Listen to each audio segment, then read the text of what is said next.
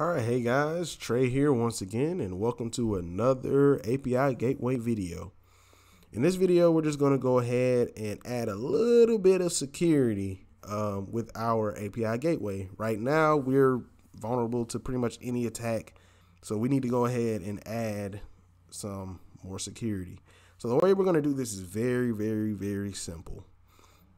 What we're going to do is install a package called Helmet and Helmet is basically just like a all around middleware security platform. So basically, if you're familiar with Express, there are middleware functions that you can run. If you're not familiar with middleware functions, then um, just go ahead Google them. Um, they come up.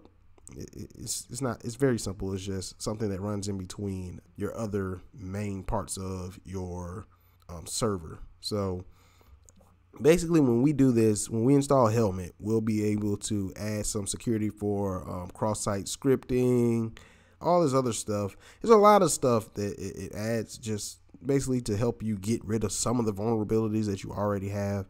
You can um, google helmet and there they have a pretty decent website with great documentation and everything. So just um, go ahead and do that if you're interested in seeing what all it protects from and we're going to go ahead and install this and add it today in our project. So we're going to say npm install, and then we're going to dash dash save, and we are going to install helmet.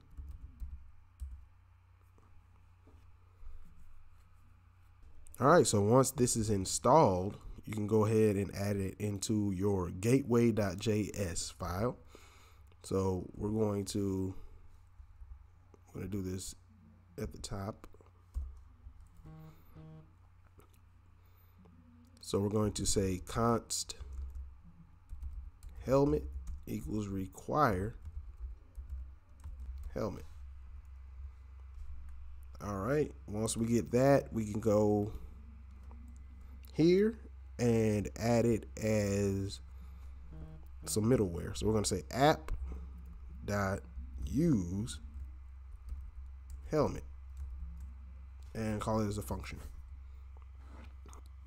And that's it. So this has already added some more security to our API gateway. So basically, this is a simple way to add security to any project that you have, um, and you can pretty much just do this that simple. You just install it and add it as some middleware. All right, thanks for watching the video. Like and subscribe to the channel and all that jazz, and I will see you guys in the next one.